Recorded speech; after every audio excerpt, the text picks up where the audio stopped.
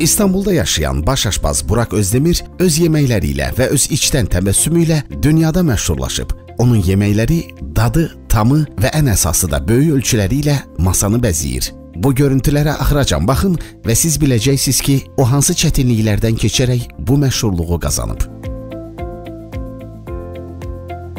Günaydın, herkese merhabalar. Ben CSN Burak. Burak Özdemir 26 yaşındaki Türkiyəli baş aşpazdır. İstanbulda restoran sahibidir. Valideynlərinin Türkiyədə bir neçə restoranları olsa da, Burak Özdemir bir neçə ilə onlardan daha çox məşhurlaşdı. Özdemir Çezen Burak kimi şəbəkələrdə öz nəhəng yeməkləri və təbəssümü ilə məşhur olub. 2020-ci ilin mart ayında onun Instagramda 15 milyon abunəçisi var idi.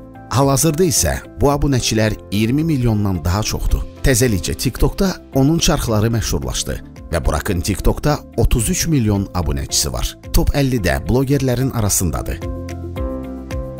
Biliyorsunuz ben kebapçıyım ama aynı zamanda mimar sayılırım. 2019-cu ildə Türkiyədə ilin prodüseri seçilib.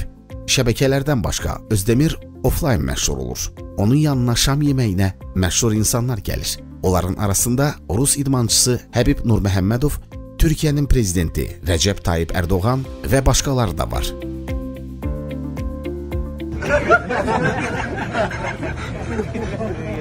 This is very hard, but be careful. Sor. Two one, two one. Qonaqları Burak özü qarşılayır və şəxsən özü onlara dadlı təamları bişirir. Amma sosial şəbəkəni də yaddan çıxarmır. Onun böyük mətbəx əşyaları, təbəssümü, kameraya baxışları təkrar olunmaz və yadda qalandı. Videolara baxarkən istər-istəməz insanın iştahı 1-ə 5 artır. Qərara gəldim ki, sizi də aşpaz Burak Özdemirlə tanış eləyim. Onun videolarına baxmazdan əvvəl nahar eləyin. Əgər edirsinizsə, o zaman nuş olsun. Uşaqlıqda Burak heç aşpaz olmaq istəmirdi. O hamının uşaqlıq arzularından biri olan futbol oynamağı xoşlayırdı. Məşhur futbolçu olmaq istəyirdi. Amma 13 yaşında ailədə maddi çətinlik yaşandığı üçün o işləməyə başladı. Onun valideynlərinin restoranı var idi və orada Burak türk mətbəxini sevdiyi üçün onu öyrənməyə başladı.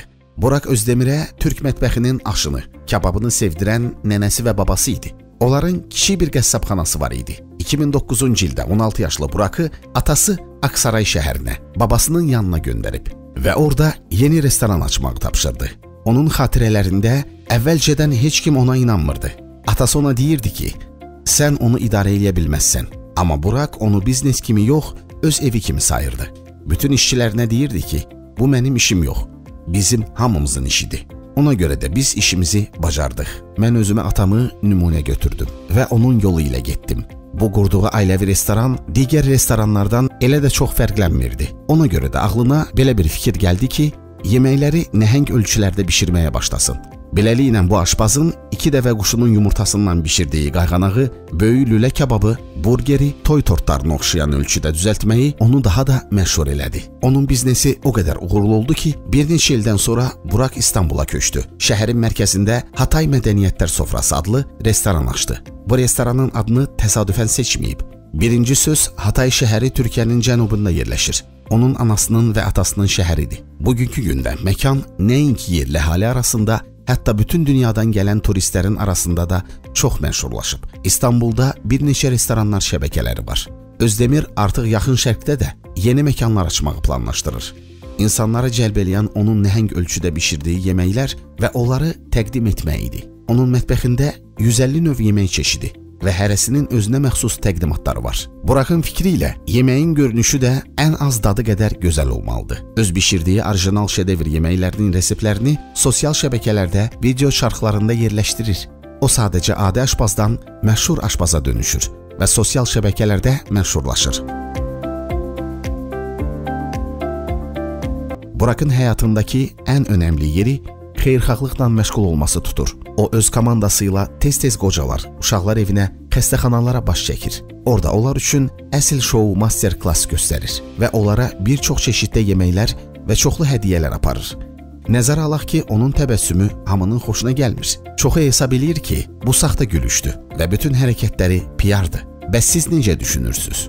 Burak Özdemirə necə münasibət bəsləyirsiniz? Onun restoranlarında olmaq və yeməklərinin dadına baxmaq istərdinizmi?